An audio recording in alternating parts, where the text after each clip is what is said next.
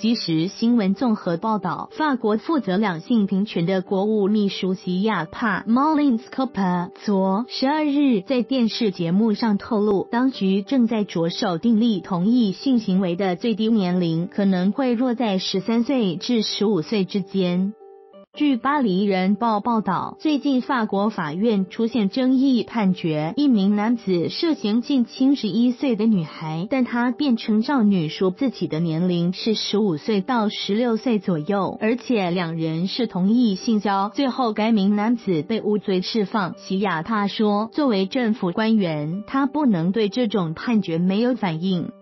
席亚帕指出，当局将设立无可辩驳的同意性交年龄门槛。不过，政府内部开始争论年龄应该定为多少。性别平等高等委员会支持十三岁，国会议员和专家则坚持十五岁。